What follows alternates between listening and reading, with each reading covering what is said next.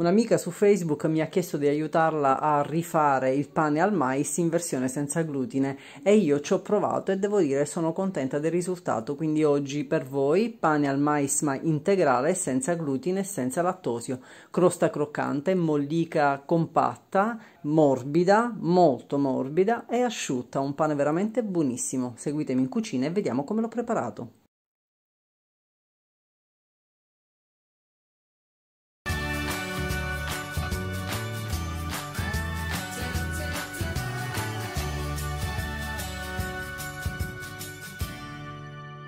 Ho iniziato versando in ciotola l'acqua, poi ho aggiunto il lievito di birra e infine ho aggiunto la miscela per pane senza glutine qui sotto in info box vi descriverò esattamente la ricetta e nel post blog vi suggerirò le, le eventuali alternative e infine ho aggiunto la farina di mais integrale. Questa è una farina di mais per polenta. Ho trovato la versione integrale che è ricca di fibre e di proteine e l'ho preferita alla versione classica che è un po' meno nutriente rispetto a quella integrale. Ho impastato con la ciotola e una spatola, quindi poi a mano. Non ho utilizzato la planetaria o le fruste elettriche munite di ganci per impastare. Qualunque di queste tre versioni, quindi a mano con la mm, frusta elettrica o con la planetaria, sono validissime. Una volta impastato per 5-6 minuti ho aggiunto il sale e l'olio e ho continuato a impastare a mano per una decina di minuti in maniera tale da ottenere un impasto sia appiccicoso molto morbido ma compatto.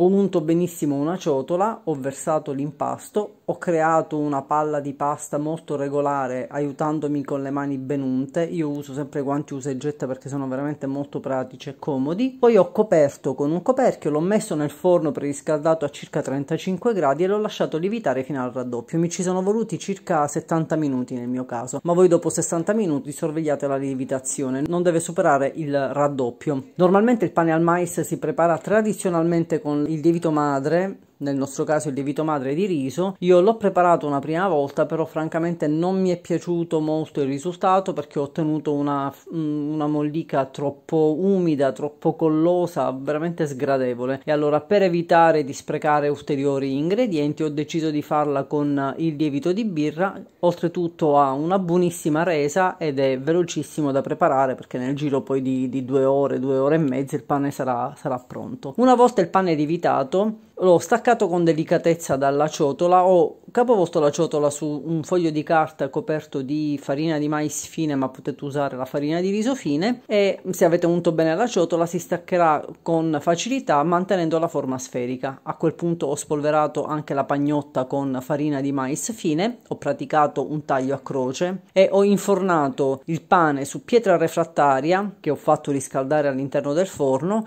e il forno era caldo a 250 gradi gradi, quindi l'ho fatto cuocere per 15 minuti a 250 gradi, poi ho abbassato a 220 gradi e l'ho lasciato cuocere per altri 20 minuti. Infine ho spostato il pane nella griglia centrale togliendo la carta da forno e non usando più la pietra. L'ho cotto a 180 gradi in modalità ventilata per ulteriori 15 minuti.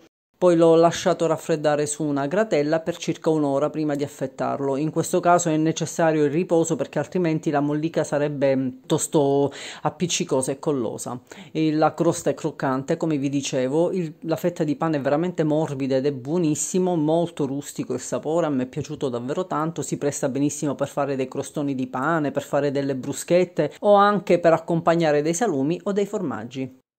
Molto buono, provateci anche voi, fatemi sapere cosa ne pensate. Lasciatemi magari un like se vi fa piacere e se non l'avete ancora fatto iscrivetevi al mio canale e attivate la campanella delle notifiche per non perdere nessuna nuova ricetta senza glutine. Grazie per la visione e per la condivisione, ciao e alla prossima!